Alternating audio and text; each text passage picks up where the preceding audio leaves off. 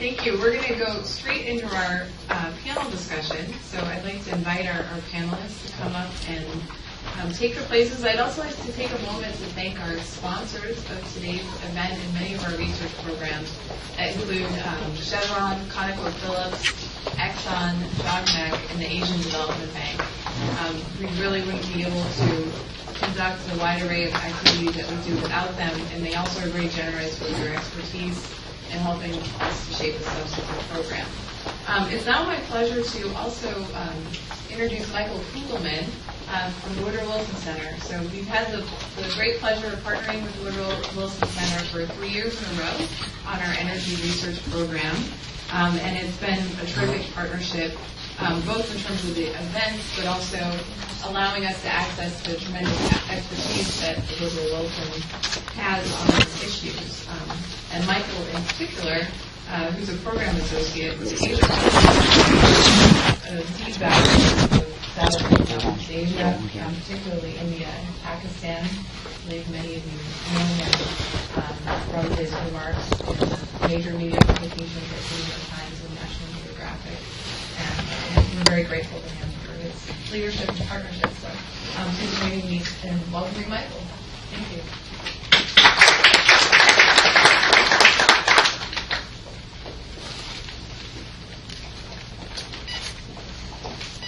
Thank you, Meredith. Uh, good morning, everyone. I think that the uh, Congressman's remarks set a great tone for the uh, for this morning's discussion.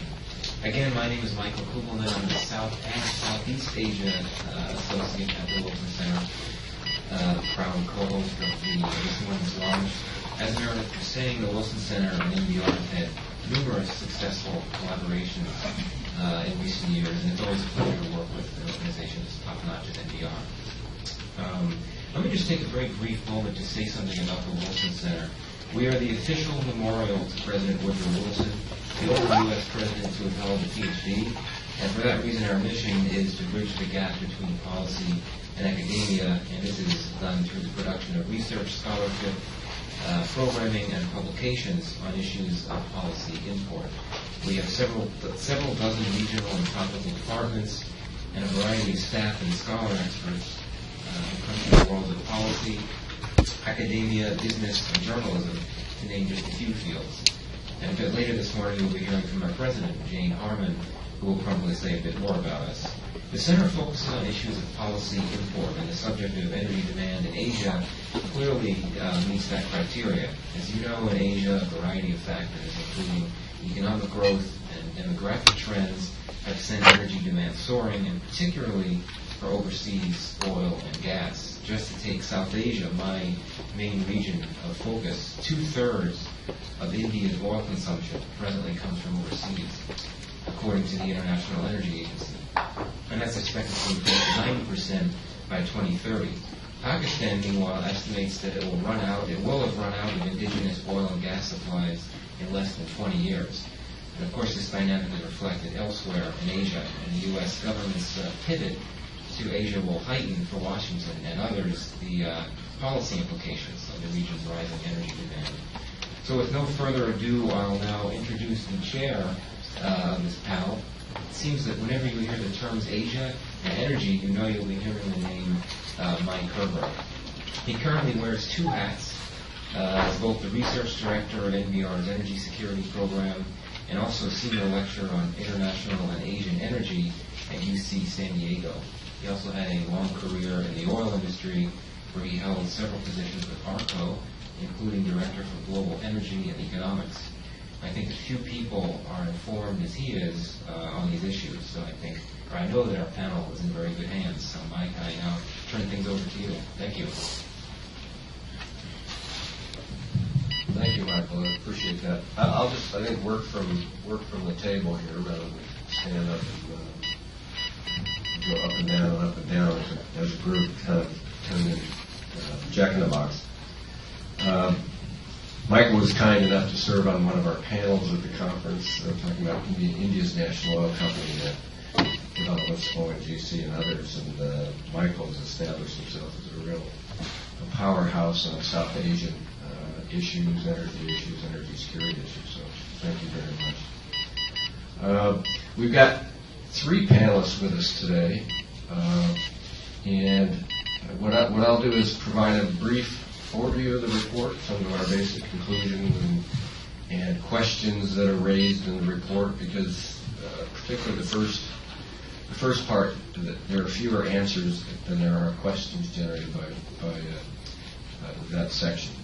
But we've got three really uh, uh, wonderful people here today to, to, uh, to really add to the discussion. Ed Chow is a senior fellow with the Center for Strategic and International Studies, has a long pedigree, a, a little bit like, um, like mine, spent many years in the oil industry, uh, is a, as a well-known consultant on uh, particularly Central Asia, Caspian, uh, Russian uh, energy issues, but has a, a wide range of uh, expertise uh, on these issues. He just flew back from Islamabad yesterday, so we, we got him back just in time for the meeting. to my left is Chander from the World Bank. A, I'm sorry, Asian Development Bank, yes. Uh, and uh, he's got a terrific uh, range of experience, particularly in development of alternative energy sources, renewables.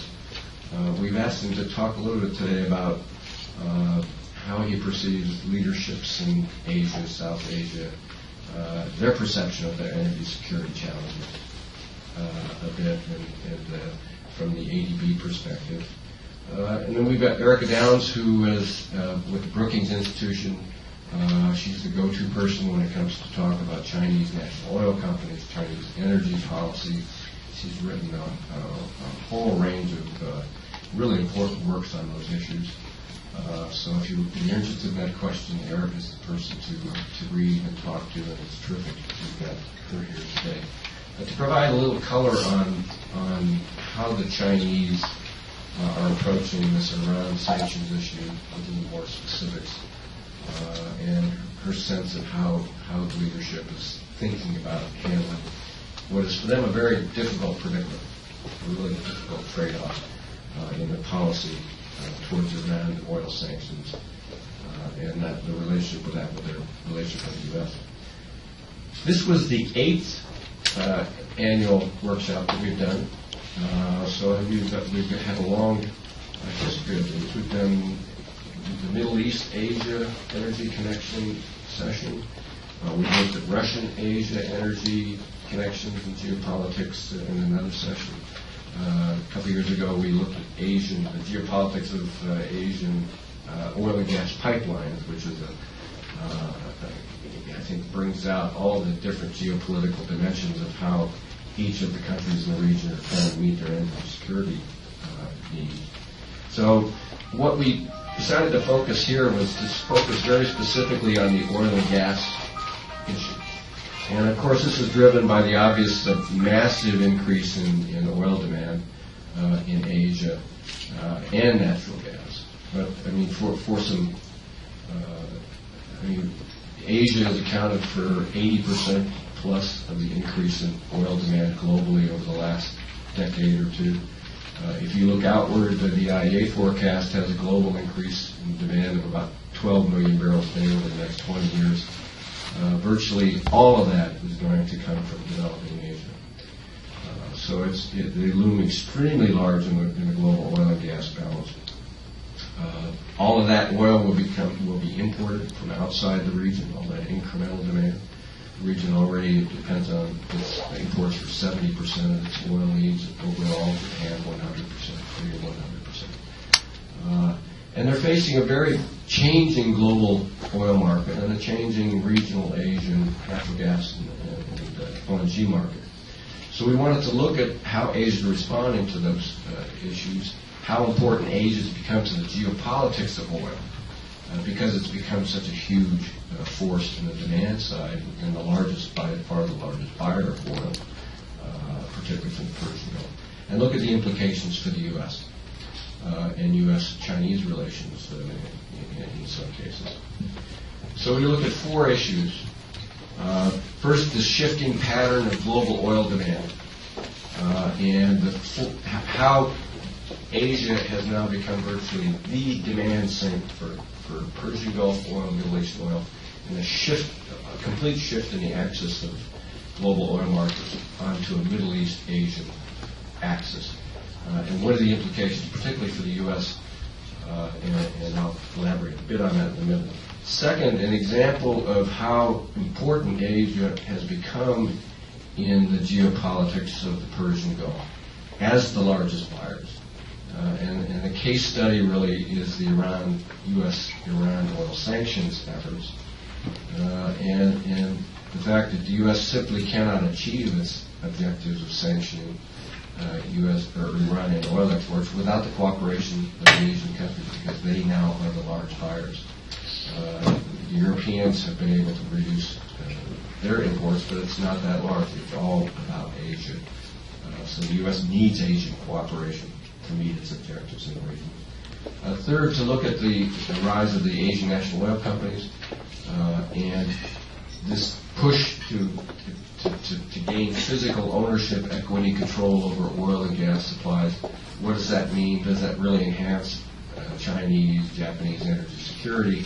And does it undermine our energy security? Because there's a lot of perceptions that somehow they're taking oil off the market, undermining our access to future oil supply. Uh, and uh, so we wanted to look at that issue. Is that real or is it illusion? Uh, and fourth, the LNG market in Asia, which is becoming a critically important part of the Asian energy mix. Gas demand, natural gas demand is booming.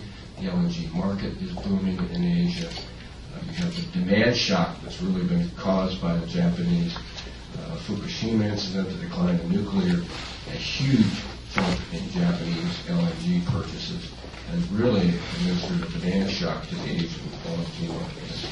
What does this mean?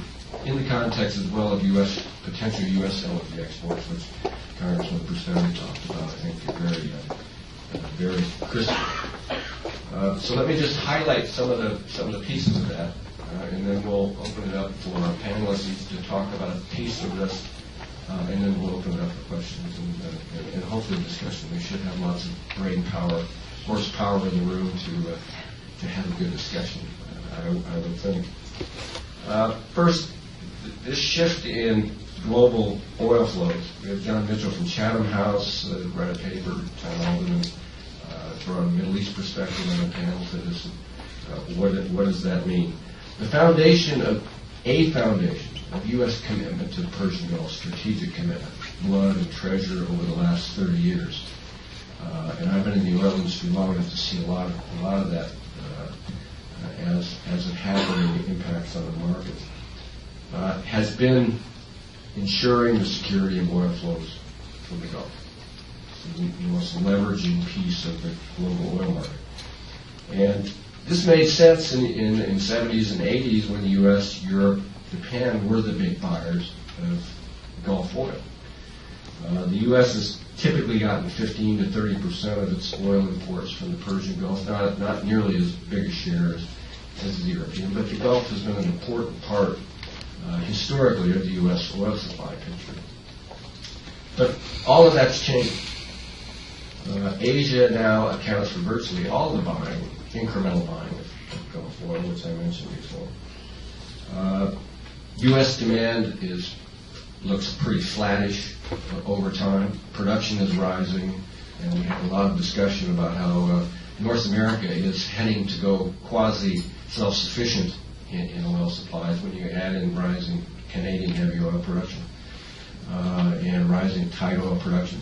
The U.S. has been the largest incremental growth in, in, global oil supply over the last three years outside of OPEC. Added 1.2 million barrels a day to production. And this is after 30 years of structural decline in U.S. oil production, uh, of, of uh, consistent structural decline. It's a stunning reversal of the previous trend. So U.S. demand for imported oil is likely to, to decline as we see flat demand and rising production. Uh, you're going to see the same thing in, in, largely in Europe with declining demand uh, for oil about at the pace of declining production, uh, which means their demand can be met largely by Russian supplies, Central Asian supplies, North African, West, West Africa. Uh, so Asia's it. And this is also looking at it from the Gulf towards the marketplace, they're seeing the same thing. Our future market uh, is Asia. Uh, Asia is now geopolitically, when you think about it, the most direct beneficiary of secured flows of oil from the Gulf. It's the most directly exposed to physical disruption uh, to supply in the Gulf. Um, so, who should be guarding sea lanes? Who should be committed to the security and stability of the Gulf when the U.S. is now the prime strategic power in the Gulf, but the direct beneficiary is Asia?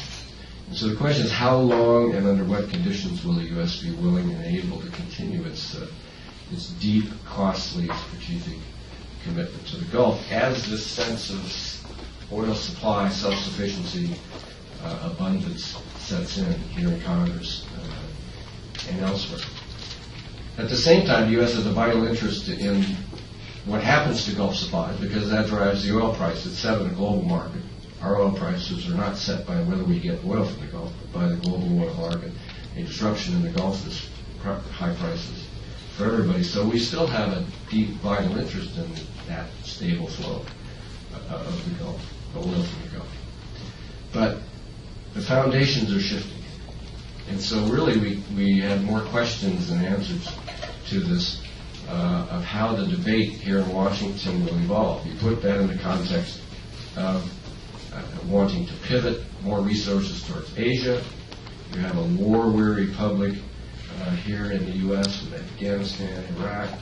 Uh, little interest in taking on new ventures, strategic ventures uh, in, in the Gulf. Uh, defense budget cuts looming, some tough priorities and choices on uh, strategic commitments to the Gulf. You put all that together with a very different oil market uh, picture strategically. Uh, how will all that play out in the U.S. commitment to the Gulf? And what does that mean for the free riders, the Chinese in particular, who are free riding on U.S. strategic costs and commitments to the Gulf? Uh, traditionally, it's been the Japanese, Koreans who are strategic allies. This was all part of the, uh, the bargain. But with China taking its role as the largest buyer of Gulf oil now, uh, what should China's role be in providing security in those sea lanes and flows in the Gulf? Does the U.S. want China involved in the Gulf and in the sea lane? If we do or don't, uh, under what conditions do we and don't? Uh, so the, the rise of the Chinese consumption and, and uh, this 800-pound gorilla market really matters uh, and makes these uh, choices for the U.S. a lot more complicated uh, and a lot more difficult. Uh, so that those are the questions that we raised, really more than answers. I'm going to ask Ed to ruminate a bit on this based on, on his experience. I'll expect you to answer that question when we, when we get to you. Uh, the second, this, this, and this kind of led to the second discussion, which was on the Iranian oil sanctions issue. Uh, as I said, I think this is a case that shows how important Asia now is in the U.S. efforts to achieve its goals uh, in the Gulf. And what we were trying to get at was what are the different perceptions of each of the key Asian players? The Chinese, the Indians, the Japanese, and Koreans. And we had people on the panel talk about each of those perceptions, but in particular on China, since China was uh, very large in that picture as the largest buyer of oil, uh, and with a different, obviously, strategic relationship.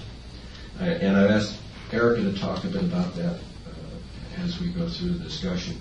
Uh, I don't want to uh, talk about it too much because I think she can talk about these issues much more crisply, but I think in general that the, the, the public statements of the Chinese leadership are that we're meeting our obligations to the UN on sanctions, that we have no obligations to any specific unilateral U.S. efforts to sanction oil. We are not fans of sanctions. We are subject to sanctions. We have been in the past. We don't believe they work.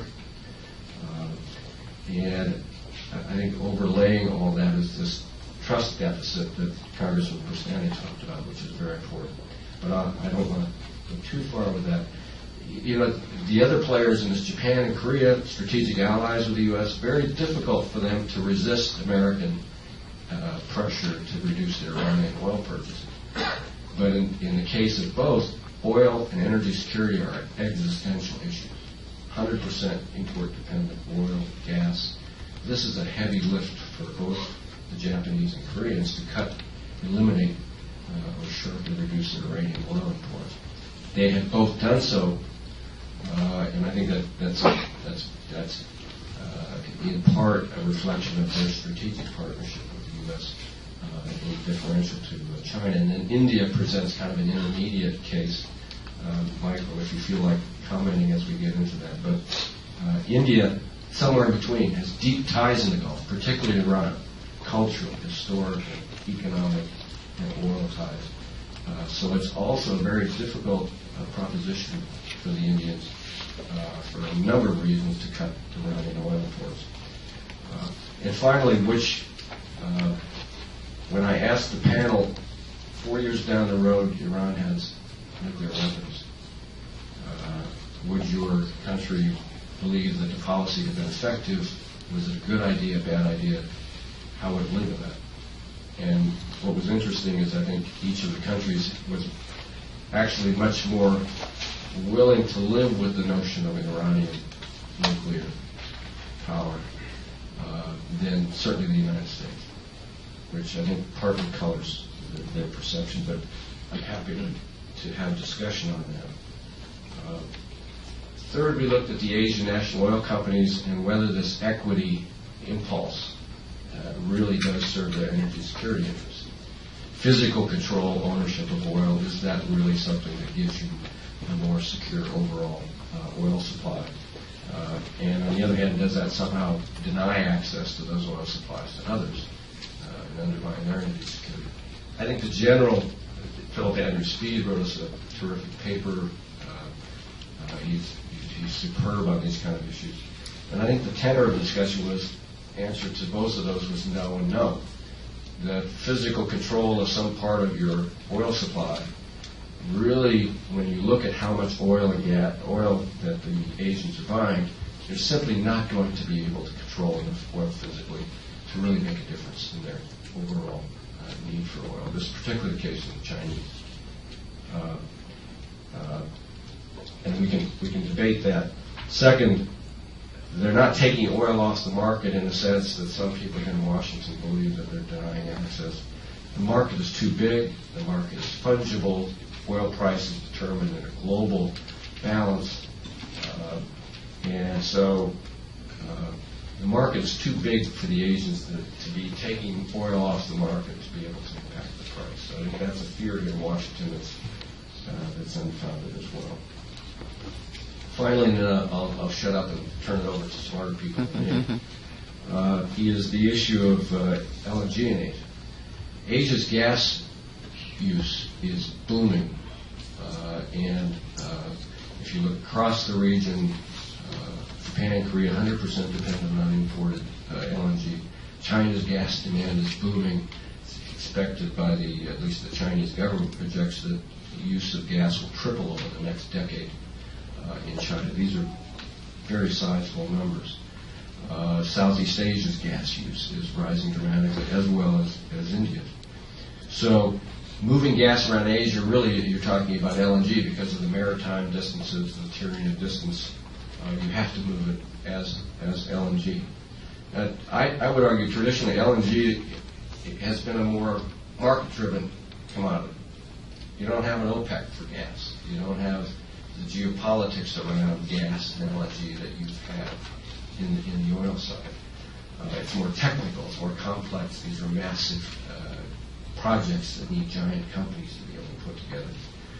Uh, but I think as Asia's LNG demand accelerates, and as this Japanese demand shock has set in, which has created a sense of scarcity fears over availability of LNG, particularly the next five years before the Australian projects and others come uh, that LNG is becoming a much more strategic commodity to the governments in the region.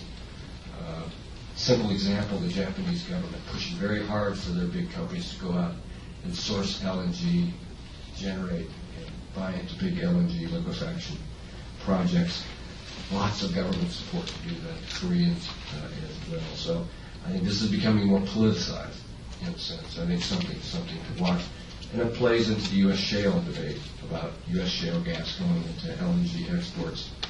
The Asians are, are are chomping at the bit to get access to U.S. LNG.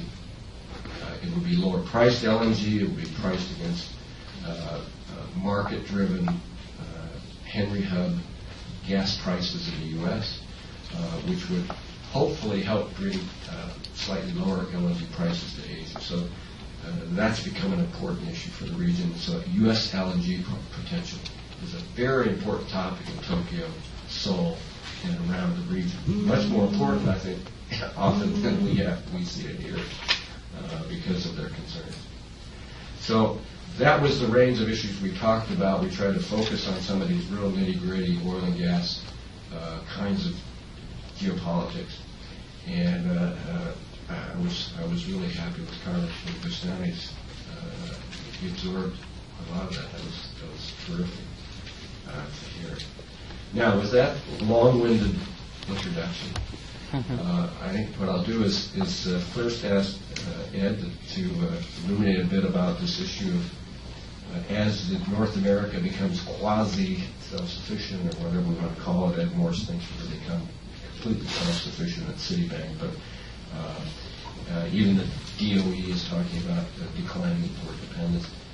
As that sets in, how do you think we're going to balance uh, strategic commitment to the Gulf uh, in the future, given that the Asians are the direct beneficiaries? I appreciate that. Uh, Thanks, Mike. Uh, I think Mike just decided that I should go first so that I don't fall asleep in the middle of talking. Um, But I really appreciate this invitation by uh, NBR. Um, It is a uh, very timely report, uh, I think, and as always, very well done. Um, I will, Mike gave me my assignment about half an hour ago, so I, I, I would try to stick to the assignment, but I did, did read the whole report. It's a long flight from Islamabad. I took lots of notes.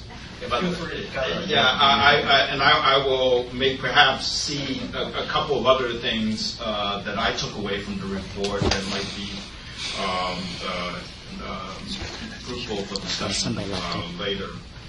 Uh, the first impression that I got after reading the report is is um, how political uh, perception lacks reality. Uh, and and um, after all, uh, the center of gravity of the global oil market, global energy market for that matter, shifted about five years ago. Uh, and uh, when non-OECD demand exceeded OECD demand in, in total energy, and yet political leaders in the West uh, continue to act as if they believe that they can continue to dominate the rules of the game when it comes to global oil and gas, um, and is somehow offended when others with a growing stake in the game um, want to try their hand at playing the game. Uh, I'll talk more about that later.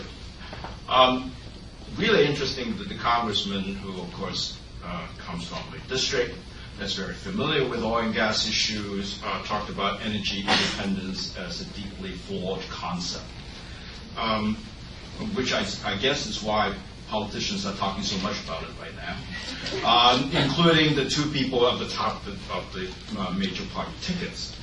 Um, first of all, the United States was never that dependent on energy imports. Uh, our, our problem was a oil import dependency. It has very little to do uh, with energy, and that all has to do with our over uh, consumption in, in transportation fuels. And unless we do something about that, uh, in spite of advances in extractive technology uh, driven by historically high oil prices, I don't think the picture is going to change very much.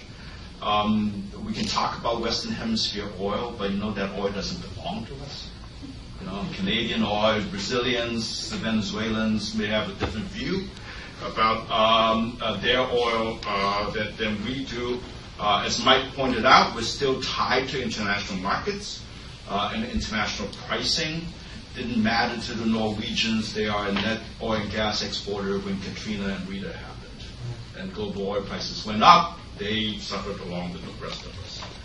Um, and will our global responsibility change very much just because we are incrementally going to be importing less oil? We never imported that much oil from the Persian Gulf to begin with, as Mike pointed out. Um, and do we want that global responsibility to change? I think here we are of two minds on this issue. On the one hand, we talk about you know, free riders like China uh, taking advantage of the global commons that we guard.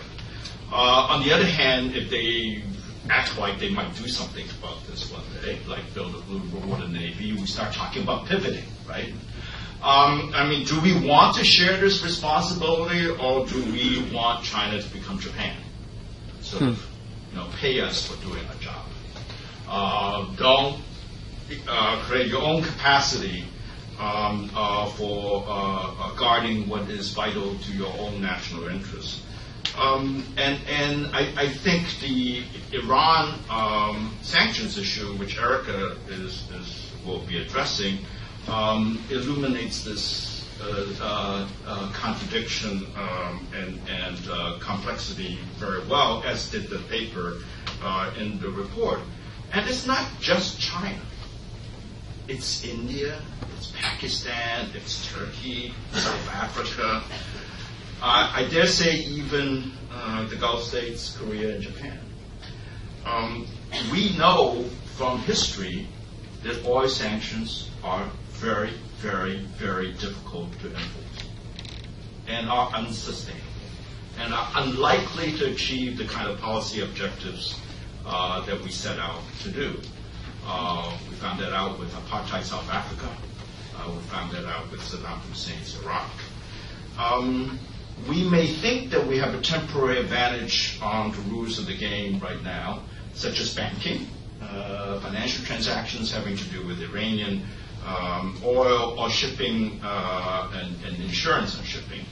But how long is this going to last if the incremental demand is going to come from somewhere else? Are the Indians and Chinese so stupid that they can't figure out financial mechanisms of their own one day? Maybe not tomorrow, but five, ten years, 15 years from now. Uh, do they not know how to do insurance? I mean, it's not just Lloyd's that can do insurance, right? So as we try to force our will uh, on people, uh, they may design other ways of, getting around it. Uh, when I go to China, as I do regularly, the Chinese like to say, you know, I'm not trying to justify it, it's just what they say, that we don't like to obey rules that we didn't have any part in making. Um, and, and, um, and, and that's something that maybe we ought to think about. Before we apply our sanctions uh, and consult, and, and uh, rather than consulting with London, Berlin, and Paris, uh, whose countries don't import that much Iranian oil to begin with, by the way, uh, which means that it is basically a gratuitous gesture on the part of the EU. Uh, talk about sanctions against Russia. We'll, we'll, we'll really see uh, where they stand on economic sanctions uh, having to do with oil and gas. Uh, maybe we should consult with Delhi and Beijing first before we start enacting sanctions that we don't know um, whether it can be enforced or not. But our policymakers are comfortable with old habits, like going to European capitals, uh, without uh, acknowledging new realities. I hope the congressman left a few staffers behind and I hope that Secretary Hormats would have uh, sent some staffers ahead of him uh, if, if, he comes here. Um, the other issue um, that we may think about uh, regarding Chinese NOCs or NOCs from India and elsewhere um, is that um, whether they will also turn into IOCs uh, one day. Uh, I think the jury is out on that. But we tend to think that Asian NOCs will behave in a certain way, uh, and we seem to forget our own history. Now, what were BP, Total, ENI at one time? State oil companies? Um, did the U.S. not use its political influence in the Persian Gulf? Did President Roosevelt not be with King of Saudi Arabia in the Red Sea? Uh, do we not condition our support of the British effort to overthrow uh, the regime, uh, the government in, in, in Tehran, on the assumption, on, on, the condition that U.S. companies will break into what was previously a Anglo-Persian monopoly? Uh, now, using political influence to gain advantage for your companies is not something the Asians invented. Um, of course, uh, uh, Chinese NOCs represents a general policy uh, where China, as the second largest economy in the world, and maybe one day the largest, who knows, uh, whether I will live to see it or not. Um, but uh, would they not want to participate fully in all the leading sectors, economic sectors in the world? Uh, and oil and gas isn't uh, it, uh, just one of them. Uh, why should they rely on Western IOCs or producing country NOCs for supply without participating in the market fully themselves? After all, their companies have limited upstream um, growth uh, domestically.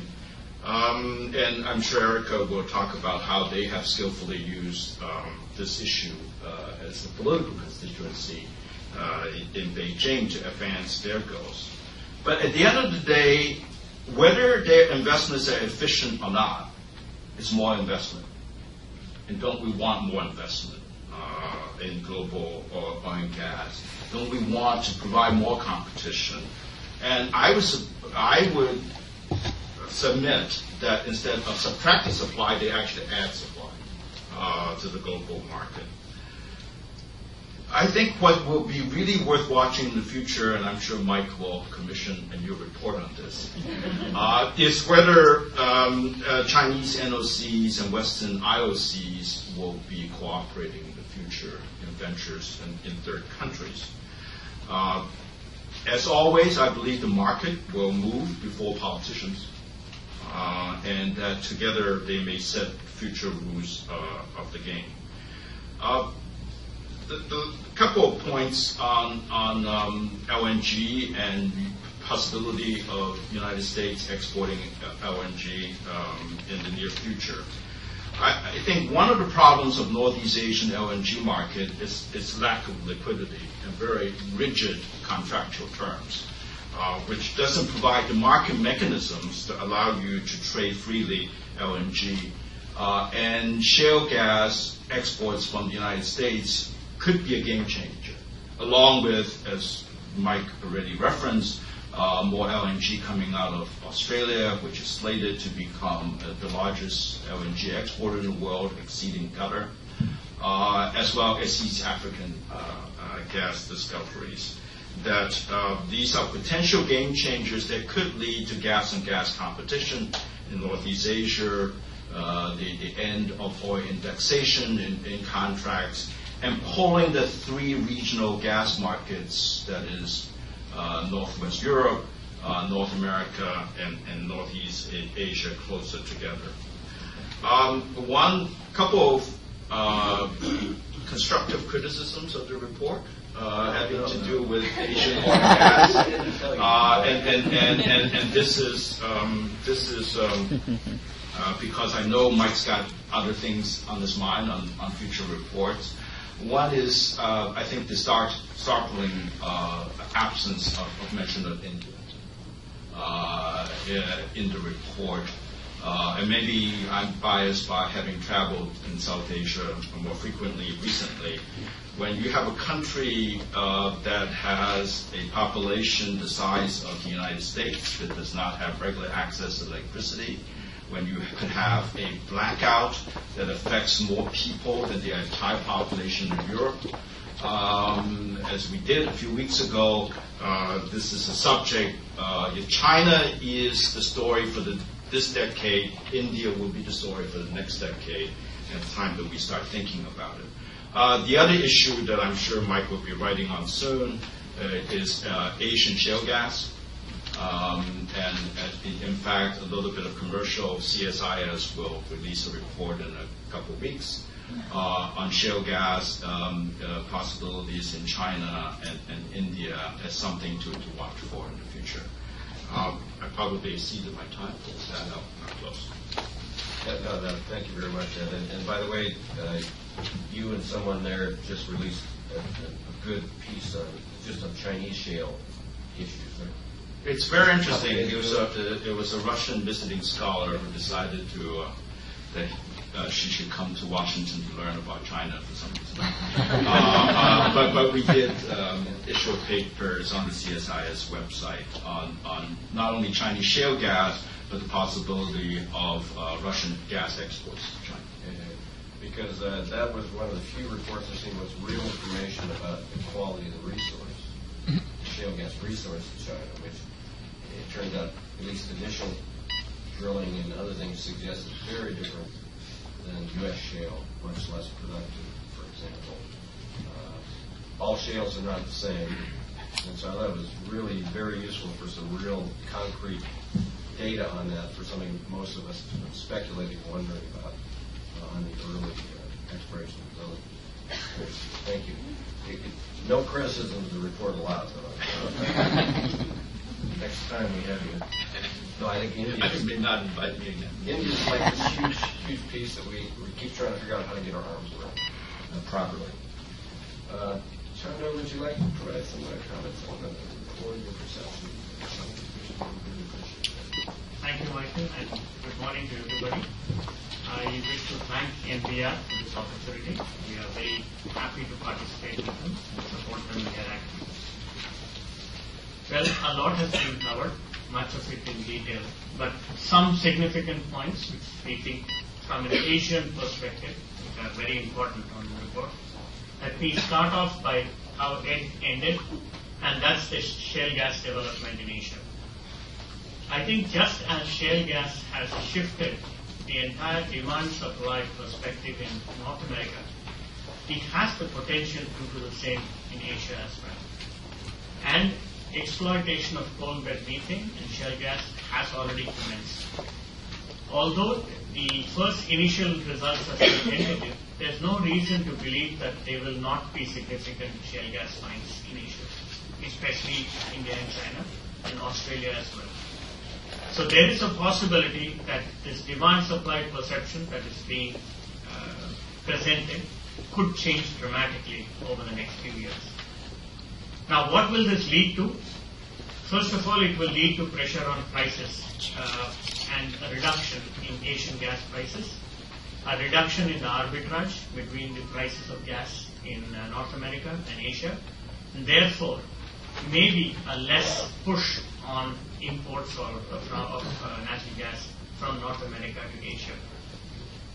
I would say, therefore, there is a small window of opportunity, and if North America does not enter, take advantage of the window we have into contracting for long-term sale purchase of gas to Asia, this window may shut. I am a little surprised at the discussions that have taken place in the United States whether to export or import. Coming as I do from the Asian Development Bank, normally it's the smaller countries like Bangladesh who have this debate. I, it's very surprising to see a country like America, which is a, we all think as a sort of a bastion for market forces to operate, to have this debate for so long. Anyway, that's my thing. The second problem that such shale gas production in China or India would have is to lead to issues of what to do with the fixed price contracts that have been entered into the, in the past between the leading producers in Middle East and Central Asia with East Asian consumers. These have been entered into over the long term. They are essentially fixed, although there are some swing uh, contracts in them. And how we negotiate out of or find a resolution to some of these uh, projects or contracts will be a, a, a major factor in how the use of gas plays out. LNG shipping is now very common. It used to be a fixed place-to-place type arrangement 10 years ago. As the report points out, it's become more spot. It's more like oil now than it natural gas was. And therefore, that gives a little more freedom to both producers and consumers to negotiate their way, way out of certain uh, historical situations. And that's a good flexibility that we have. Uh, the second major issue or point that I don't find reflected in the report and which, which could have a bearing is this whole issue of climate discussions. I'm very grateful to the lady. She seems to be the only one that has uh, sort of mentioned that aspect. Another major change in the attitude of North America versus Asia is the attitude here is you find and you burn. In Asia, even if you find, you don't burn. So you will find that many major oil and gas producing nations like Qatar, Abu Dhabi, etc., they are also the biggest investors in nuclear power and renewable energy like solar and so on. The reason is everybody is preparing for a shift. Should the shift occur, they want to be sure that their bets are not all on one commodity or one type of business. And that's the reason.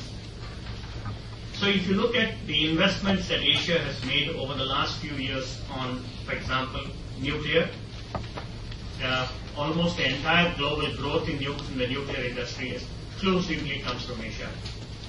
And there is no, we have not seen a stalling of this. It's still continuing despite the problems that Japan is having or Germany's policy of going non-nuclear. Renewables last year, more than 50% of the renewable investments globally were, were in Asia, and Asia has far overtaken Europe and North America in this. Almost 30 gigawatts of generation capacity came from renewables in Asia alone last year. And energy conservation. You will see voluntary cuts of energy intensity of between 10 to 20 percent in the national plans of most large Asian economies. That includes India, China, Indonesia, Thailand, what have you.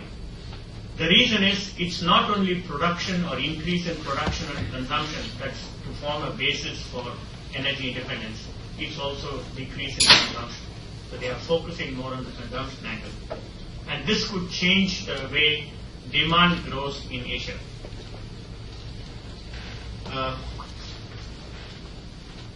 the second aspect I would like to point out about this investment in long-term uh, investment in renewable energy and conservation is that it has a long tail.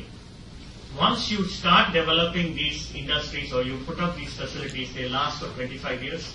So there is a long tail to this, these investments. Second, they serve as a, a vehicle for bringing down prices of alternate or supplemental energy resources. Three years ago, the price for solar, for example, was 35 US cents per kilowatt hour in Asia. Uh, last year, the lowest bids in China came out at 12 cents, India at 16 cents. And these are stable because we are seeing many companies bid close to these prices.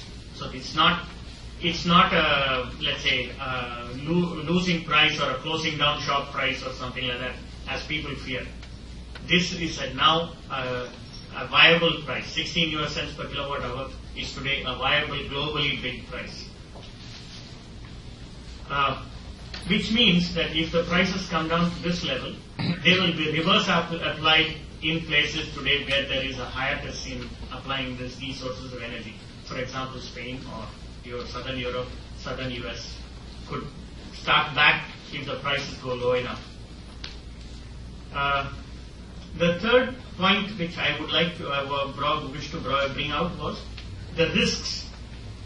Why are Asian nations spreading their investments into various types of generation activities like nuclear renewables and LNG terminals? Basically, it's the risk of stoppage of fracking due to some environment issues. It's still a recent phenomenon. You have a four-year track record only. And should something happen in, with- where environmentally there is even a stoppage of fracking, the change could be very dramatic. The shock could be very high, and therefore there was a, there is a need to guard against this. Uh, that's one of the things that are uppermost in their mind. The second is another nuclear accident in large countries like China or India, like Fukushima, would again completely change or alter the strategy that large Asian nations are putting together today. Uh, finally, one other risk they see is complete breakdown in climate change discussions. Despite the posturing and the general, let's say, dysfunctionality of the inter-country negotiations in the climate change area, there is some positivity in the sense that individual countries are voluntarily going ahead to do certain things. And this is what is keeping the industry alive.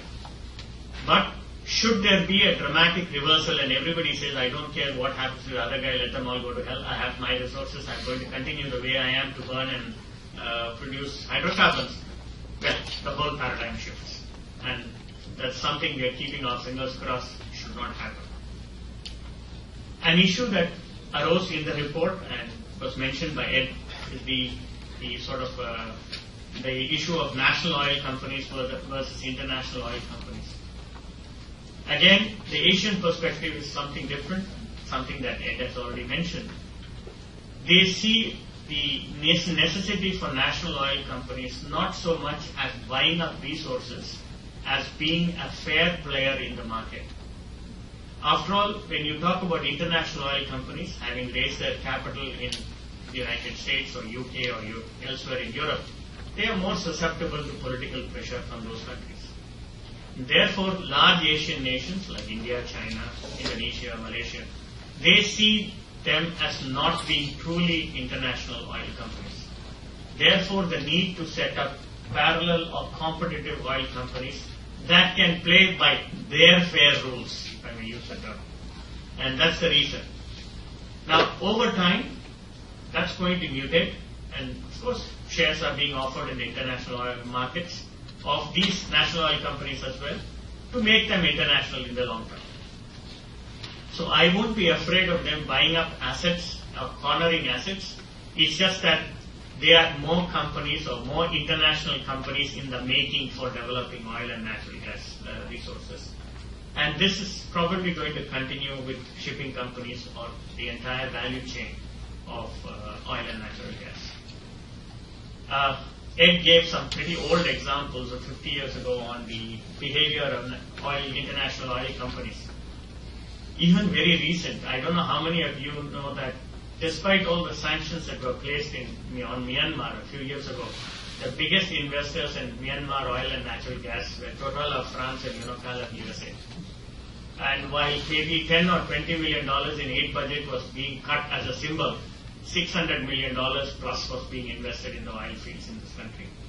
And I don't know whether you know that 34% of the Thai gas import comes from Myanmar, has always come from Myanmar. So I think that goes to show what the Asian perception of some of these ground rules of international oil companies are, and therefore the necessity to quote unquote take corrective actions by having national oil companies. So I'll end there. I think uh, these are some Asian perspectives.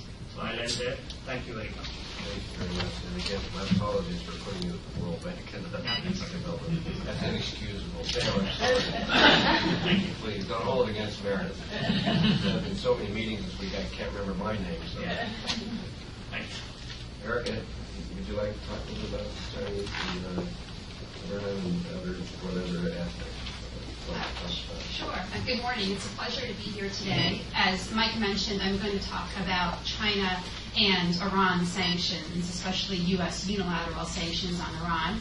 Uh, and in my remarks, I'd like to address three questions. Uh, the first one is what are some of the factors uh, influencing uh, China's response to sanctions, um, especially U.S. unilateral sanctions?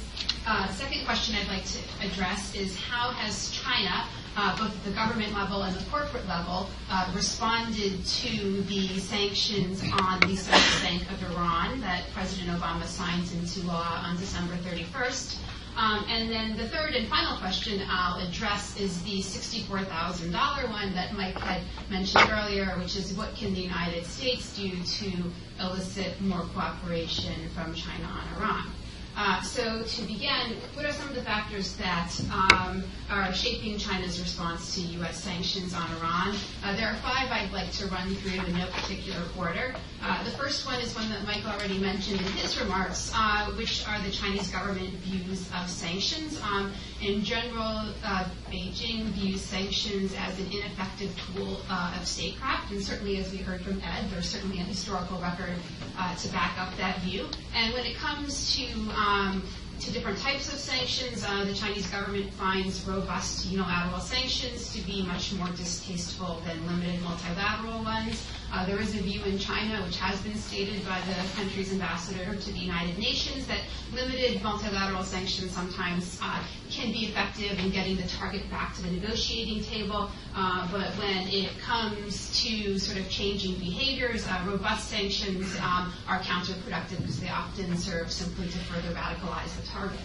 Um, another factor uh, shaping China's uh, views on Iran sanctions is energy. Uh, Iran was China's third largest supplier of crude oil last year, behind Saudi Arabia and Angola, providing north of 550,000 barrels per day. Um, a third factor is concerns about nuclear proliferation. China, like the United States, has no interest in seeing Iran acquire nuclear weapons capability. Uh, however, that being said, my sense is that uh, Beijing probably regards a nuclear-armed Iran as a less acute threat to national security than the United States does. Um, a fourth factor is China's relationship with the United States. Uh, the relationship with the United States is China's most important bilateral relationship. Uh, so since there is a desire to avoid having Iran um, become a major source of tension between the two countries, you know, on the other hand, I suspect that uh, the government is probably a bit tired of repeatedly being asked to comply uh, with new U.S. unilateral sanctions on Iran. Uh, and the fifth factor I'd like to mention, which I'm going to return to at the end of my remarks, are the corporate interests of a Chinese oil company called Sinopec. Uh, on the one hand, all of the oil that China imports from Iran ends up in Sinopec refineries. Uh, on the other hand, uh, Sinopec has ambitious plans to expand its presence here in the United States.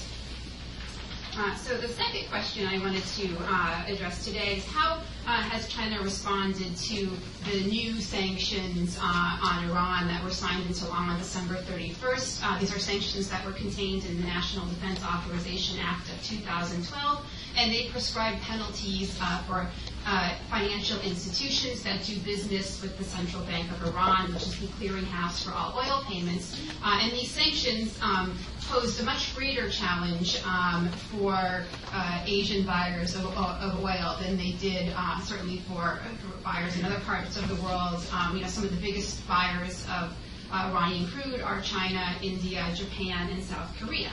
Um, and the government's response is one that Mike had already mentioned in his remarks, which was that uh, we comply with multilateral sanctions. Um, our energy trade uh, and uh, investment ties with Iran comply with UN sanctions on Iran, and those are the sanctions we're going to follow. Uh, therefore, these new U.S. sanctions on the Central Bank of Iran are not going to have any impact on China's energy relationship with Iran. That was the government statement, and it's been repeated multiple times since December 31st, 2011. Uh, however, the Chinese oil companies uh, had a different response. And even though the government said these sanctions aren't going to impact our energy ties with Iran, they did. And that's because both uh, Chinese and Iranian oil traders uh, responded to the sanctions by getting involved uh, in a contract dispute. Uh, every year, the Chinese and the Iranians sit down in November or December to negotiate uh, their supply contract for the following year. And so in November or December 2011, when they started their negotiations, uh, the new sanctions on the Central Bank of Iran were basically a done deal. Both sides knew that. And so they responded to that by pushing for different contract terms. Uh, the Chinese wanted lower prices and a longer credit period. Uh, whereas the Iranians wanted the Chinese to pay higher prices and a shorter credit period. And this dispute lasted for about four months. Um, it didn't end until late March 2012, and as a result of that, there was a big drop in Chinese purchases of crude oil from Iran. Uh, in, in, the first five months of this year, uh, Chinese oil imports from Iran were down 25 percent. Um, and it's on the basis of that reduction that China was granted a 180-day uh, exemption from these sanctions on June 28th, on the last day um, that President Obama had a chance to do so. Uh, and I think that exemption was warranted based strictly on the numbers. If you look at China's year-on-year percentage reduction, and if you look at their volume reduction, and you compare those to the percentage and volume reductions um, of other major Asian buyers, Japan, Korea, um, India, uh, it certainly uh, was warranted. Um, and this brings me to I guess, the last issue that I wanted to touch on, which is the question of what can the United States do to elicit uh, more cooperation from China on the Iranian nuclear issue. And this has become an increasingly sort of important issue as China basically has emerged as the linchpin um, of the U.S.-led international sanctions against Iran because Chinese oil companies are among the only major players left in the Iranian upstream. Uh, China is a major buyer of Iranian crude, uh, currently the largest buyer, buying about half the crude oil that Iran exports. Um, and Chinese companies are also occasional sellers of gasoline to Iran. Uh, so what can the United States do um, to get more cooperation from China? Uh, and the one answer that I'd like to propose today is that the United States can continue to welcome Chinese national oil companies to invest in the North American upstream. Um, over the past few years, uh, North America has emerged as the preferred destination for Chinese oil companies. Uh, so far in 2012 alone, 95% of Chinese upstream M&A uh, including CNOOC's uh, proposed acquisition of Nexen, um, is here in North America. Um, and at the same time that Chinese investments in North America have been increasing, they've really been slowing down their activities in the Iranian upstream. Uh, and I think one way to sort of get this trend to continue um, is to uh, welcome Chinese oil companies to continue to invest here because that forces them to make a choice between the American market and the Iranian market.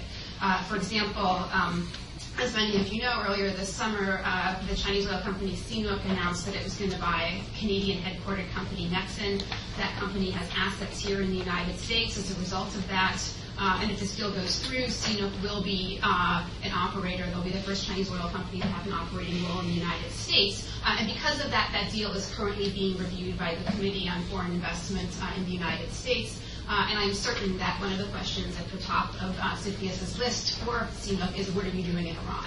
And so I think one way to uh, get Chinese oil companies to slow down in Iran is to have them come here um, not only as passive investors but also as operators because that will force them to make that choice. And I'll stop there. Thank you.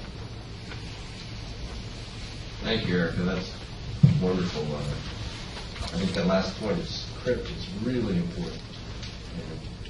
And I said that to the uh, U.S.-China Economic and Security Review Commission in January when I testified, and not get a good response. Uh, Shocking. yeah. Um, But I I think you're absolutely right. The question is, how do we, you know, try to find a way to to to improve the comfort level that issue? Uh, The advantage of having experience not uh, cri- critical to it. Uh, Those were three wonderful commentaries that covered a whole bunch of range of of things. Uh, So I think best now just to kind of open it up to to the floor and see uh, what you'd all like to talk about.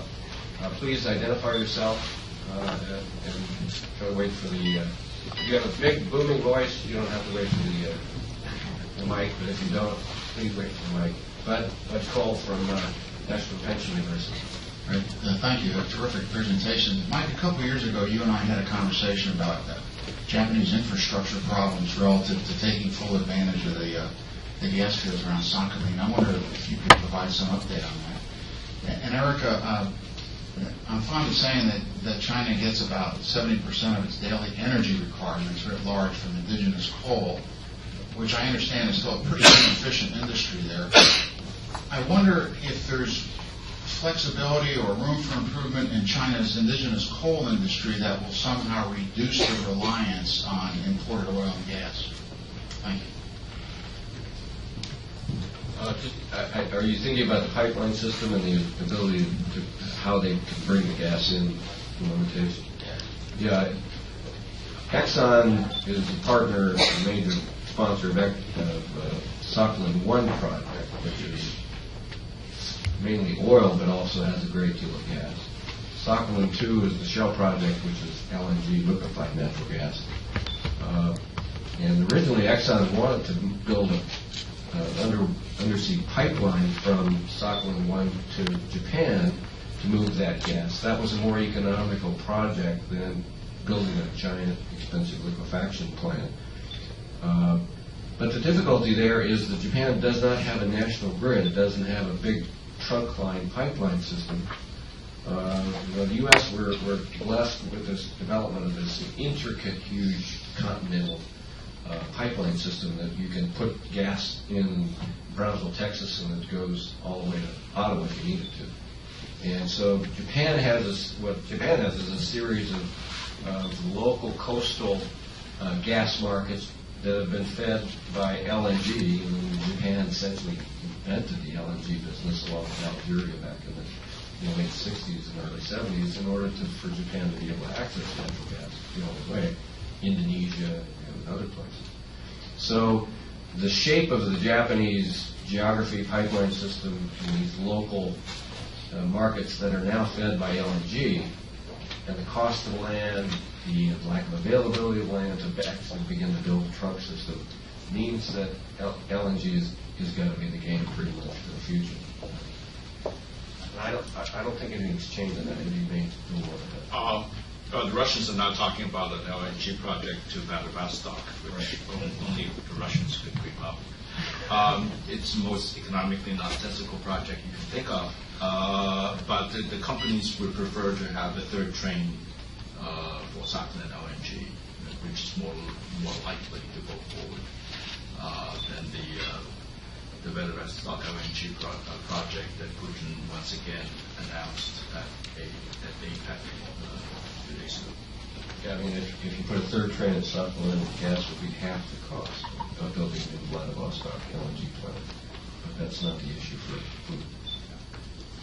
Erica, do you want to talk about the coal? Um, Sure, I mean, there are, there have been reforms underway in China in recent years aimed at consolidating um, the coal industry, I think partly um, due to desire to increase efficiency. Um, But I think if you look at oil and natural gas and what um, experts inside and outside of China are saying about where demand and imports are going to go, I I there is a consensus that they're going to go up. Um, when it comes to, to natural gas. The government does have ambitious plans to uh, double the role of natural gas in the energy mix from 3.9% in 2010 to 8% um, in 2015. And there is a recognition that in order to achieve that goal, um, there are going to have to be uh, increasing volumes of imported gas coming into China. Um, And I think the goal sort of reflects the fact that there's a recognition that natural gas is a great transition fuel to a lower carbon future. Yeah. On the coal side, the Chinese are putting in a lot of effort on the consumption. So if you look at the power plants that have been added in China over the last few years, they've all been very high efficiency supercritical plants, 41 plus percent efficiency, and that's allowed them to take offline the old 32 percent to 34 percent efficient plants. So in a sense, they improved their coal consumption efficiency as well over the last few years. And just to emphasize how important this is, China's coal consumption is half the global consumption on a daily basis. They've been building 80 gigawatts a year on average uh, of coal-fired power. Uh, that, that's a big plant, 250 megawatt plant, six days a week equivalent. I mean, it's just a staggering number. So shifting from 32% to 42% efficiency is a huge, huge. Yes, sir. Uh, I I ran the uh, private power program at the World Bank for Pakistan, Bangladesh. And I don't think you guys cover the policy issues of government on energy. And these are absolutely self-defeating. Uh, First of all, there is the pricing of electricity in India. There's also the pricing of natural resources. Uh, in IBIT data that in 1998, uh, official figures of Pakistan were 30 trillion cubic feet of gas. Was on their own records. They have drilled four wells in 98. And then they come to the World Bank saying, give us money in order to drill four more. And why should we up? You know? Same thing in Bangladesh. And of course, once they found the gas, Chevron, sorry, you, you tell uh, they stopped, they refused to uh, export it across the border to Calcutta, which is the oldest private company in India. And I think this, I think that India's uh, changed its uh, policy in that respect, but I think it's very important that uh, we look at policies and uh, try and eliminate this discouragement that goes on, because they're so self-defeating. In my case, the private power people were 5,000 megawatts we put up in six years. And uh, these are all in the northern Punjab area. And they were saying, why don't we do a pipeline from uh, Uzbekistan through Kabul into the hole. And we looked at that. You know, other things were stable, we'll do it. And then along comes certain government officials and we looked up and said we want to build this topping line, which we rejected. Thank you. Thank you. This is what Chander's comment about kind of this resource nationalism. Uh, and it's deeply ironic to hear the U.S., which has been preaching for as long as anyone can remember open markets, open access to resources, free markets, allow the investment to flow. That's been probably the number one principle of our energy security strategy globally. To turn around and begin to have this debate about that's hoarding. This is a hoarding response. Is deeply cynical from the perspective Yeah, but, but Mike, Mike, you you and I are old enough to remember when we restricted the export of Alaskan crude oil uh, to Japan, so this is not the first. Um, How well does that work?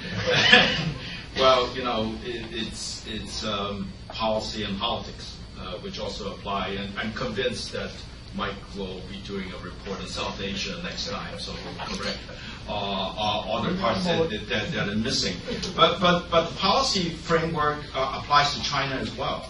Uh, I mean, Chinese are experimenting, uh, announced at the end of last year, experimenting, experimenting with natural gas pricing reform in two provinces, Guangdong and Guangxi, uh, that may or may not drive future pricing reform. And in order to either develop shale gas, develop more tight gas, conventional gas uh, in, in China, as well as to uh, uh, um, allow uh, more imports to come in. Pricing reform is also necessary in, in China. So these very high consumption targets uh, presupposes some policy reform on, on the part of China. One good thing about the Chinese is that they're very good at experimenting and adapting from lessons learned from uh, experimenting in, in a few places and trying to extend it universally. Um, and, and maybe there's some lessons to be learned in the future for South Asia as well. So I, I just came back from Islamabad, so I'm, I'm well aware of some of the policy barriers that, that you mentioned and met with a number of the companies who, that would like to invest more in natural gas production uh, in, in Pakistan, but, but are currently not able to. But there are also signs of, of, of reform there. So, Finally. Yeah, finally. For incremental production. Yeah, I mean, energy pricing across developing Asia is an enormous problem. You underprice electricity, and then you try to try to generate the resources to generate electricity. The electricity price is so low that you lose money on every kilowatt you produce. Uh, you get low electricity prices, then you have to impose low natural gas prices at the wellhead and low coal prices uh, in the face of rising costs. It simply doesn't work. What you end up with is chronic energy shortages, massive on scale, and that's exactly what's, what you see across the region. That's my, when I teach my class, that's what I spend most of my time talking about, not this other stuff about energy security. It's the internal pathologies. Yes, sir. Robert international investor. I wonder if any of you can reflect on uh, another infrastructure question, and that is uh, refinery capacity. We know all these nations, India, China especially, is going to need a very uh, refined fuel mix for all sorts of transportation, aviation, etc. Are we seeing much being uh, built in the way of refinery and storage capacity? You and Bob talk about it better. Yes, a lot is being. You know, China's building uh, something close to a million barrels a day of refining capacity over the last several years, uh, and upgrading the refining system that they have so that they can take the heavier crudes that are, they're going to need from the Middle East in the future.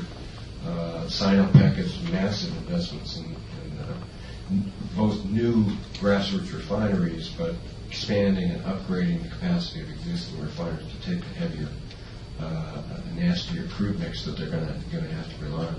Uh, India, again, has built huge refining capacity over the last five to seven years. In fact, the, the irony is, is that high oil prices, this massive boom in demand for oil in Asia, but the refining margins are just dog wood. They're terrible. and and uh, you can't make money refining, or it's very difficult. The Singapore refining center in, in Asia chronically losing money or barely making money compared to, you know, what, what often are very good margins in North America uh, and even Europe. So you have the irony of huge boom in demand, but lousy refining economics. A- A lot of that because you had massive building in China, massive building in India, and that's built upon the top of big refining capacity in Korea, uh, and lots of excess refining capacity in Japan with declining uh, oil demand. So, uh, yes, tons of it.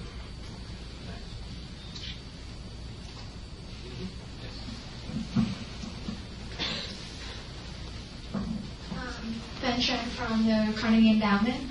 Um, given the uh, China's current, like recent discovery and uh, drilling of uh, new energy sources as, uh, such as shale gas or um, LNGs, do you think that it will have an implication on China's um, role in the is a broad dispute in terms of like South China Sea or East China Sea, or even like reduce its role in um, in um, uh, Middle East? Thank you. Uh, I happen to think that, and I'm maybe in the minority here. Uh, but- it's sometimes wrong, but never in doubt. Right, but, and- but I'm convinced uh, that neither the South China Sea or East China Sea disputes have anything to do with oil and gas, or very little to do with oil and gas. And I disagree with the congressman uh, on that. It has lots to do with sovereignty. It has lots to do with control. It has lots to do with shipping. It has more to do with fishery than it does with, with, with, with oil and gas. Uh, China imports 5 million barrels per day today. No geologists think that we're going to find 5 million barrels per day of production in the South China Sea or the East China Sea. Uh, there is just no replacement for secure sea lanes, the import of, of incremental oil and gas supplies, mainly from the Persian Gulf. Uh, so, you know, I, I just think that this, this is a sexy issue that, that the media and politicians like to talk about. It reminds me of all the oil and gas we're supposed to discover very soon in the Falklands, uh, as soon as the war is over. Uh, and we never found any, or at least not enough to write home about. Uh, so, um, no, I don't think that uh, the, um, the uh, either shale gas, LNG, uh, will change the East China Sea, uh, South China Sea equation very much. And let's not forget, it's not just China. It's Vietnam disputing with the Philippines, it's Korea disputes with Japan. Uh, this is a much more multifaceted game uh, than just a, a Chinese one. I, I'm a little bit concerned about American policymakers putting the heat on the issue. Um, you know, uh, Se- Secretary Clinton's comments in the ASEAN uh, meeting a couple years ago, uh, and then, um, kind of ironically, um, uh, her and, and uh, Mr. Panetta telling the, the Asians to chill. Uh, recently, on an issue that they help um, sort of uh, heat up. Um, but uh, the, no, the, oil, the fact of the matter is, oil and gas won't be developed fully, assuming it exists, until there's a multilateral agreement that would secure uh, companies' abilities to operate. They, they can do seismic surveys. They can even do exploratory drilling. But you cannot operate in a disputed area. Think of the insurance premiums. Uh, you're going to really put a billion dollar platform uh, uh, in an area where uh, gunboats can harass you, uh, where you can't do crew change, you can't supply, you can't even bring food uh, to your work, hundreds of workers. Uh, it's just not on. And unless we see the, a North Sea kind of you know, collective agreement on demarcation, uh, there's not going to be uh, much oil and gas development in the disputed part of the South China Sea. I don't think.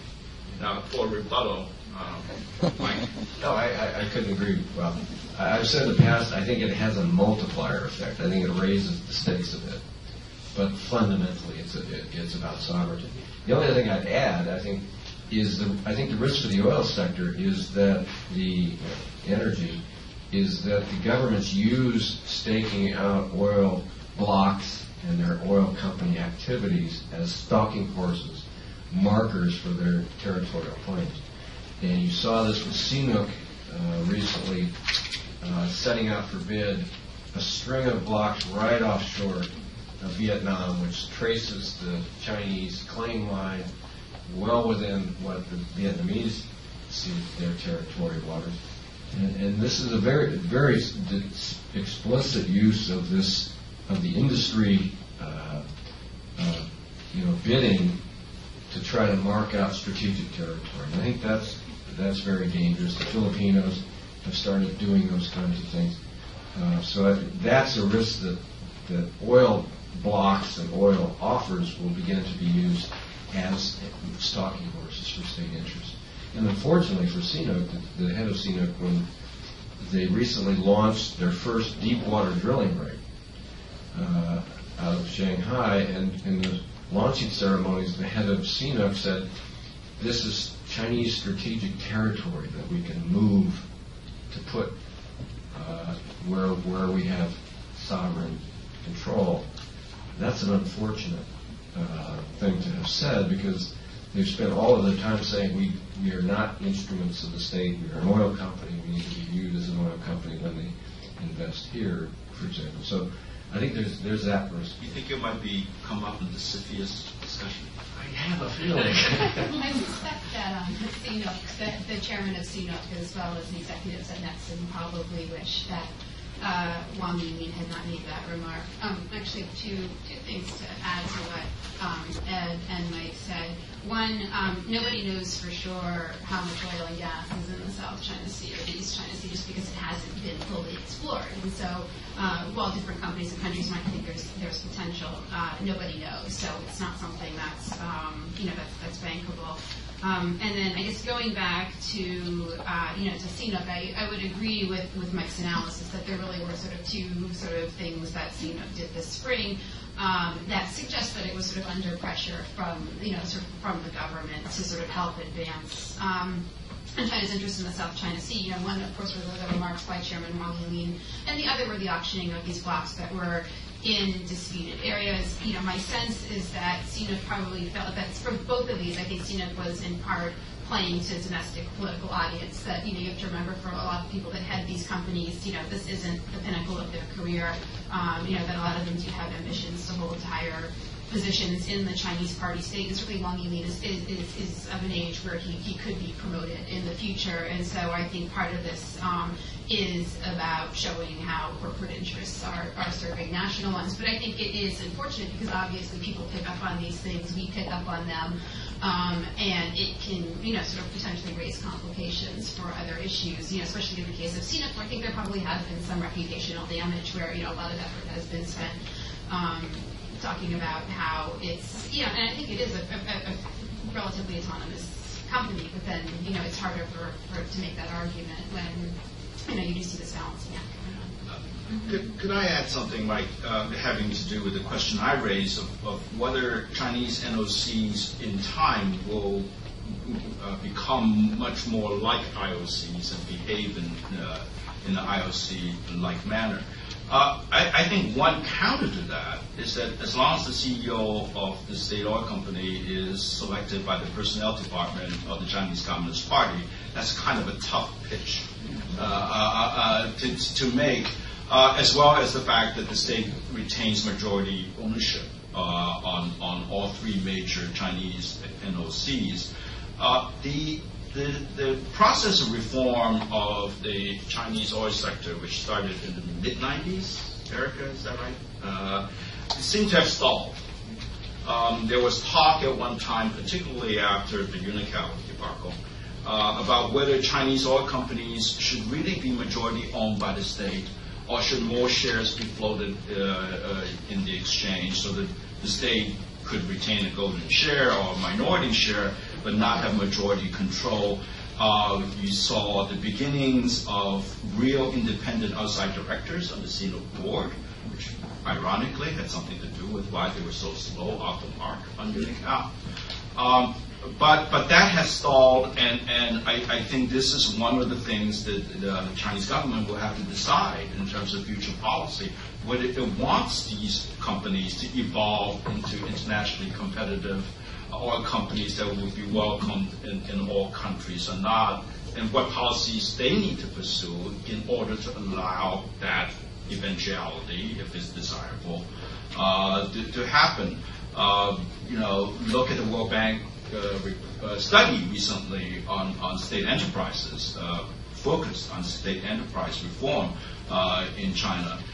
There are a lot of necessary conditions yet that, that is not currently present that would allow uh, Chinese oil companies or ONGC or GAIL or anyone else to become much more like uh, IOCs. Uh, and this is something to watch in terms of future Asian consuming country NOCs as opposed to uh, producing country NOCs. I will conclude. Yes?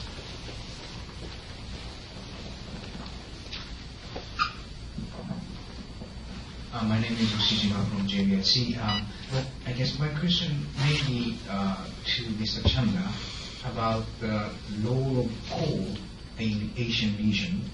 So you mentioned uh, about, you briefly mentioned about the situation in, in India, but, um, and also contemplating not only CCS, uh, and I'm also contemplating about the uh, high efficiency burning technology, like you mentioned, and taking those uh, technology and uh, into account, and also um, also taking into account the existence of Australia as an uh, exporting industry country of relatively uh, high efficiency coal.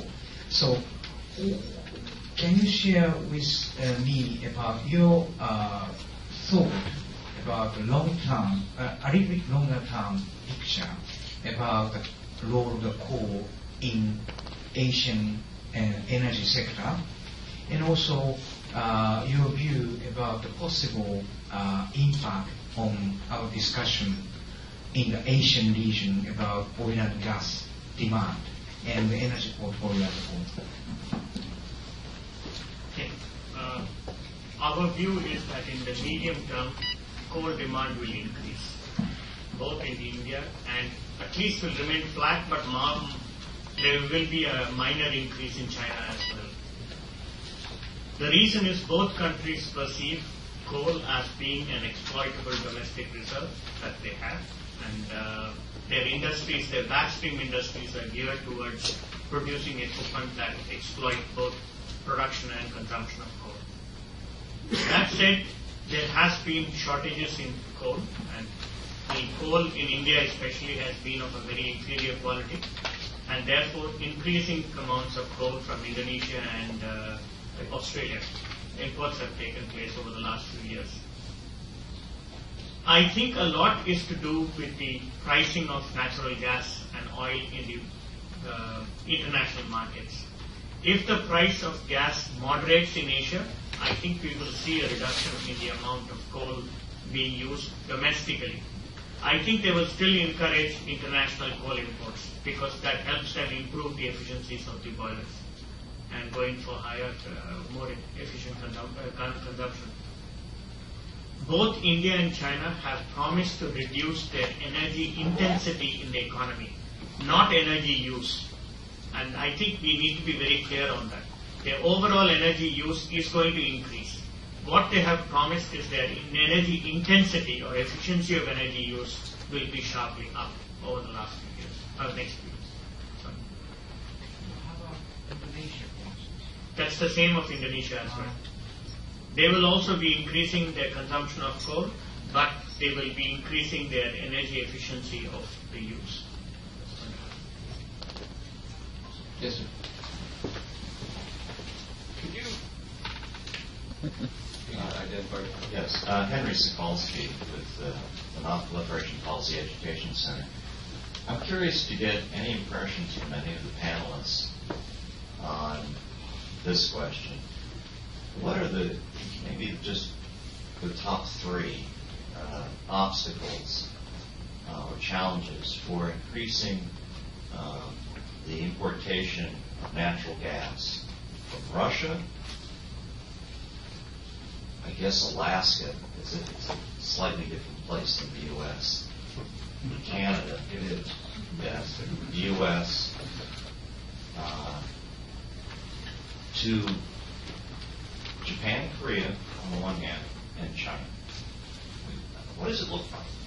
Uh, is it a mad race, or is it going to be very, very difficult for them to increase their exports? And if so, what are the three things in each case?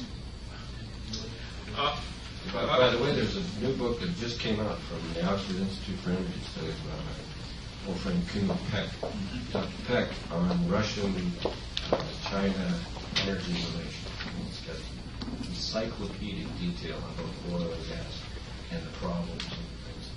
That piece. Uh, I also just came back from Moscow, uh, on the way to Pakistan.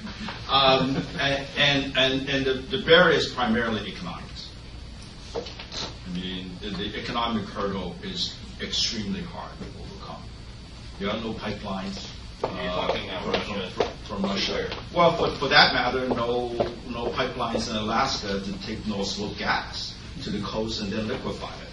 Uh, no pipeline from Alberta to, to British Columbia, and lots of routing problems uh, uh, along the way. So even though in theory you have stranded assets, in the case of uh, Alaskan gas or East Siberian gas, uh, like Kovykta, or, or uh, Canadian gas that, that uh, don't have as big a market in the U.S. Um, as um, um, uh, it was thought because of U.S. shale gas revolution. Uh, the economic uh, obstacles are, are extremely difficult, and someone has to take the financial risk. And, and the question is, who's going to do that? And so, if you look at the Russian-Chinese argument, which has been going on actually the, in the current version the last six years, uh, but really has been going on for 30 years. Uh, much like, you know, the, the Russians say, how long have you been talking about importing uh, or, or moving Alaskan gas to the lower 30, uh, 48? And I say, as long as you guys have been talking about it, it, it could to, to China pipeline.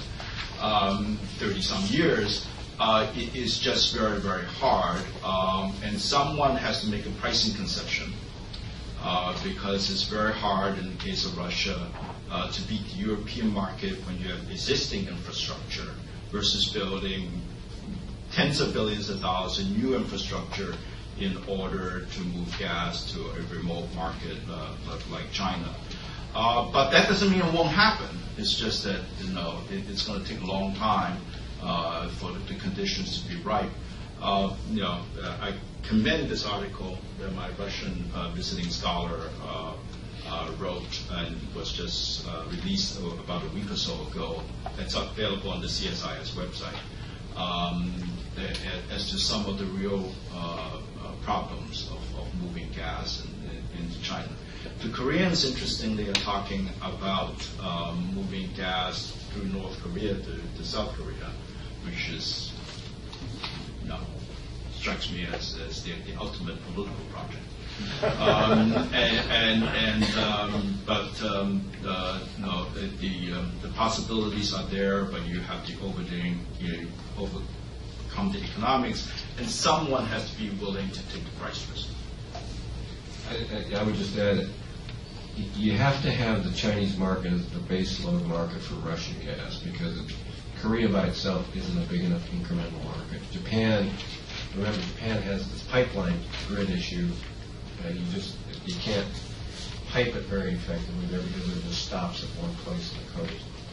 Uh, I, I would argue that on a big scale, the Kovykta gas, for example, Kovykta, which is the big field in Irkutsk, the big gas field, which was originally targeted to move uh, to Asia, would be reasonably economic on a large scale if it were done on a commercial proposition and not by Gazprom, which, you know, but, but that's a that's whole, a different set of problems. Yeah, that's, that, that introduces all these other problems. So I think the commerciality, if you had a big commitment from the Chinese market, Korean market, those two would be enough to commercially proposition move Kovykta gas to uh, to China and Korea. The problem is it's political gas from Russia, uh, and then the Chinese have have been unwilling to earlier to pay the kind of prices that Gazprom wanted European equivalent prices at the border for the gas. And instead, the Chinese went to Turkmenistan, Myanmar, LNG, and all these other sources. So the Russians have missed the window for the next decade. The Chinese feel very comfortable with the supply picture on gas from all these other supply sources. So the, Russians are pushing on string now, at least until post 2020. So very complicated. But, and I think Alaska, it's just the cost structure there. It's, it's, you can move it south to the coast, pipeline costs, liquefaction costs. That that might be a dicey proposition, and you've got to come, overcome all the pipeline permitting and all the kind of it's on the subject of uh, North American LNG into Asia, and specifically into China. I mean, I think in theory there's an interest there. I think the Chinese oil companies would love exposure to North American gas prices, um, and it certainly looks like um, exports from either U.S. Gulf Coast or British Columbia um, would be cheaper than you know some of the oil index contracts that Chinese oil companies have signed um, to buy LNG from you know places like Australia um, and Qatar, you know, but there are a number of obstacles. That's why I said in theory, I mean, there's the whole issue we talked about earlier about, you know, we here in the United States, how do we feel about being, you know, a, a, a gas exporter? Is this something uh, that we want to do or not? Plus, there's the issue that, you know, even um, uh, of um, the fact that right now, if you want to um, buy LNG from the United States, you have to have a free trade agreement with the United States, uh, which which China doesn't. I mean, I think that's something that you know can and yeah, I think that that is an obstacle um, to gas exports may change down the road. Um, you know, but, but there's that issue there. And in Canada, there's the issue of sort of building uh, the infrastructure to the west coast. Uh, Chinese uh, national oil companies have taken positions in some natural gas plays and some LNG projects in Canada. So I think that indicates, um, you know, that there's interest there. But then there's the whole issue, I think, for the uh, companies involved in these projects is sort of looking into the future, looking at when they'd be brought online, and sort of what does the gas supply demand balance look at look for look like in China at that point? How much LNG do they already have contracted from other buyers? What does demand look like? The wild part of shale, uh, and so on and so forth. So again, I think there's there's an interest, but there are a lot of obstacles that have to be overcome. Uh, I, we were running down a time. Uh, you in the back, and then you have the last. Hi, my name is Brenda Shaffer. I'm from the University of Haifa, and I work on Caspian energy and Eastern Mediterranean gas. We're sitting here 10 years from now, and you have to say, you're talking about demand rising in Asia for gas. Where will be the new sources of gas coming from? If you had to guess, is it Eastern Mediterranean? Is it Mozambique? Is it new production in Qatar and Australia? Is it domestic production? Where, where's the gas going to come from? Your, I'd like to hear all the guess the most likely. All the above. I think, I think the, the demand is potentially so large uh, that, I don't know, Eastern Mediterranean, I'm not convinced about that one myself. Uh, some friends look at those fields. But uh, East Africa offshore, absolutely, uh, will be moving that direction. Qatar will be, because Qatar has to worry about losing market share to the Australians who are just going, uh, you know, eventually all these things will come online and uh, and other Asian projects. So they're they're thinking about how they maintain their market share. So Qatar, uh, where, where else across Asia? They're hoping for U.S. LNG, uh, Canadian LNG. Uh, what other? Uh, I think what, what may be more important is whether the LNG market, with multiple, many more suppliers and, and more buyers, uh, particularly in Asia, will become more liquid. I I, I because if you have a more liquid market, potentially you can swap supplies along uh, so that uh, you, you, would do the trade that, that makes the most sense. Uh, one of the more interesting developments recently in the idea of uh, North American exports is this joint venture between Exxon and Qatar. Uh, applying for a license to export gas from, from the United States. Now, why would Qatar be interested in exporting uh, U.S. Uh, LNG? Because you have the swap opportunity so that you, just like you do with oil, where you can take advantage of transportation economics, even though you you may be the, the seller, you can you can source that with someone else's gas. I think it's interesting that oil companies are more and more self-contracting for, for their LNG supplies, which which means that they believe that there's a future out there uh, that where they can do the arbitrage in, in, in the market, uh, just much like we, we do with oil to, today. So I, am not sure the physical connection is so important um, because if, if you if you have Eastern Med gas, which I hope you will have very soon, Brenda, uh, that that uh, you can swap a cargo with someone in East Africa and you can supply East Asia, uh, and and you can supply their customers in Europe, maybe. Uh, so uh, I, I, think this is the future for LNG that, that maybe we will see if, if uh, uh, more market liquidity uh, appears. Just a, a, a, note, I mean, for those of you who this gets esoteric very quickly when you talk about LNG, but just think U.S. gas prices are 280 a thousand cubic feet or a million BTUs, $2.80 or something like that today. Uh, it's eight to ten dollars in Europe at the national balancing point, uh, and it's set 16, 17 in Japan and Landing LNG for This price differential is just absolutely staggering. It reflects transportation economics, but all kinds of other constraints and liquidity. That's what Ed's talking about, liquidity in the marketplace to be able to get more movement and, and, and swapping and uh, the uh, spot market has become much larger over the last uh, decade. That's important. And then that Asian Japan crude cocktail natural gas linkage to oil prices is a, big constraint because it's driving those $17 prices. Uh, so you have a huge underlying set of issues here about how and when will Asian gas prices, LNG prices begin to reflect a more liquid uh, integrated global market for LNG because now it's just regional, very regional picture. I'd like to remind my Asian and, and European friends that just because we enjoy three dollar gas doesn't mean that you're going to get it at three dollars. We would try to sell it to you at sixteen. it's just that you have a lot more margin to work with. And, and, and, and this, this is why liquidity and the narrowing of the three, the pricing of the three regional markets that LNG transportation allows you uh, to do, where that becomes important. But as long as they stay with rigid long-term take-or-pay contracts, uh, uh, as long as they stick with oil indexation uh, and so on, to producers will continue to be very happily selling expensive gas to the consumer. if The consumer wants to pay for it. Uh, but, but will the consumer force producers um, into doing something different with gas on gas competition. I, I, think that's probably the issue of the next five, ten years. Gas on, gas on gas competition. That's what drove U.S. prices. You know, that's what created the U.S. market was when the pipeline system, common carriage, everything else allowed you to really have gas and gas competition. That's when prices came down. Uh, last, last one, I'm afraid. Thank you. Uh, I'm Dan Millison. I'm an independent consultant, and in the interest of full disclosure, I'm, I am under contract to Asian Development Bank right now. Um, a quick comment on the gas prices. That $3 gas in the United States is not going to be around for very long. Uh, just maybe four or five years ago, we had $7 per million BTU in the hub.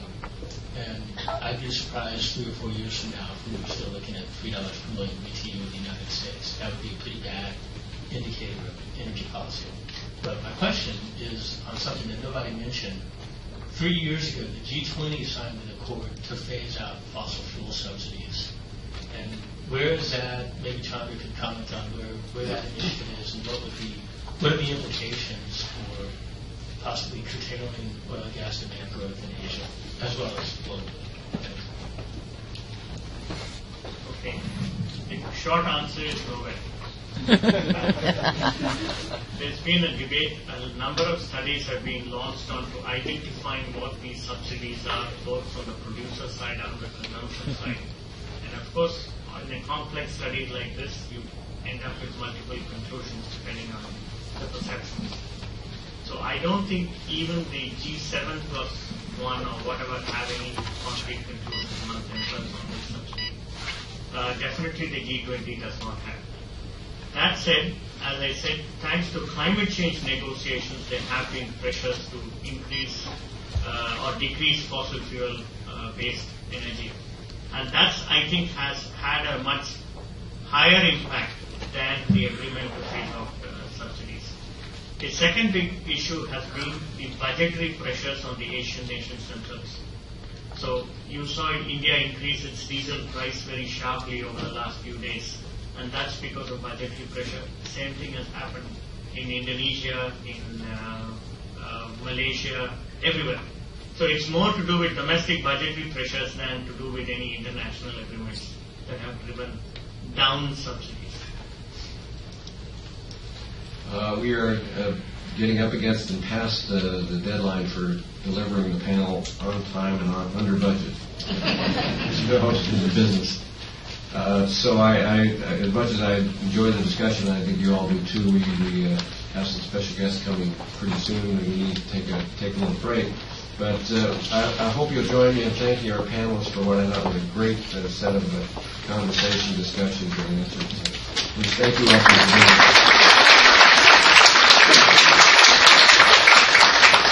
here.